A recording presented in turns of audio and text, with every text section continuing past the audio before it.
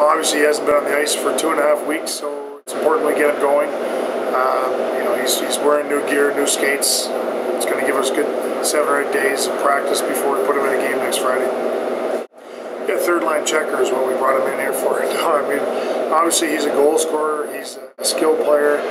He's going to be one of our, our top line players. Uh, that being said, at 16 years old, we don't expect him to go out there and, uh, and uh, create miracles on the ice. But uh, yeah, he's definitely going to be a go-to guy for us. And uh, at 16 years old, it's going to be nice to see him be that player for the next few years for the Mooseheads You know, it's there's so many different adjustments. Uh, I know uh, from experience of leaving home at 16. I mean, you're going to uh, to a new city, a new culture, a new language, meeting new friends, schooling, uh, you know, missing your parents, missing your girlfriend.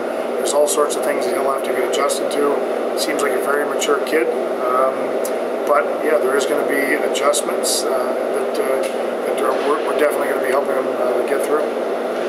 Well, just to playing slower rate and uh, you know the timing, the quickness of the game, and he's 16 years old, right? So uh, he's playing against uh, some of the uh, older guys, more experienced, right? So it's going to be a learning uh, curve, and just going to have to go through it. And uh, you know the coaching staff and players, they're going to help him, and that's that's the best way to do it, right? Well, it was just uh, it was dragging on. It was supposed to be a couple days, you know, that he was staying with us, uh, and then uh, it wasn't resolved. So uh, in a way, you know, he sort of uh, stayed with it, and you know, we talked to him that uh, as a hockey player, he's got to get used to the negotiations, you know, that kind of part of the business, and stay positive and keep his head in the game, being ready to be physically, uh, you know, ready and mentally ready, positive, uh, and uh, just concentrate on things that he can